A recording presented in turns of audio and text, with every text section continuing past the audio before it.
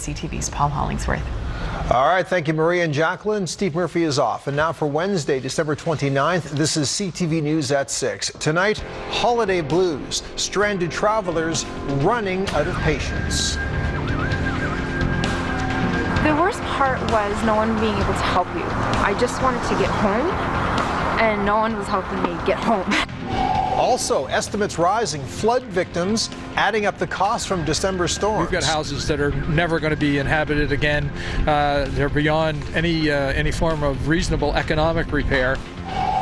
Snow survivor, young boy home and safe after hours on the outside. He was just sitting there. He has his boot off, holding his boot, and when I when he seen me, he put his hands up.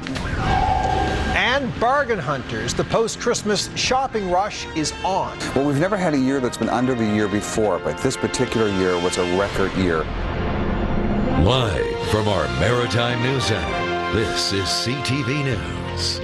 Here is Paul Hollingsworth.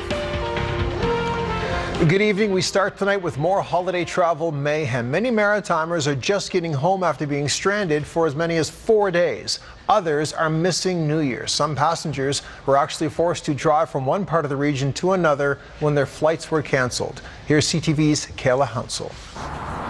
Ali Rabahi arrived